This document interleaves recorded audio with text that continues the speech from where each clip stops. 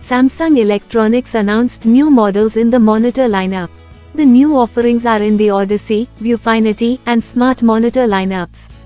The Samsung Odyssey Neo G9 gaming monitor gives 7680 x 2160 resolution and a 32:9 aspect ratio.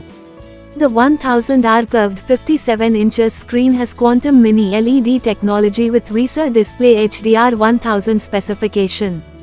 The Odyssey OLED G9 has a near infinite color contrast ratio. It has a dual quad HD 49 inches 180R curved display with a 32:9 aspect ratio.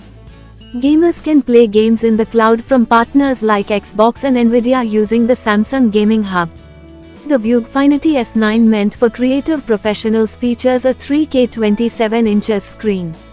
The monitor's built-in color calibration engine ensures precise screen color and brightness. The Smart Monitor M8 comes with four options to let the monitor fit in any room.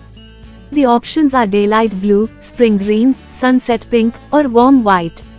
The monitor can connect, control, and manage hundreds of compatible devices through SmartThings Hub.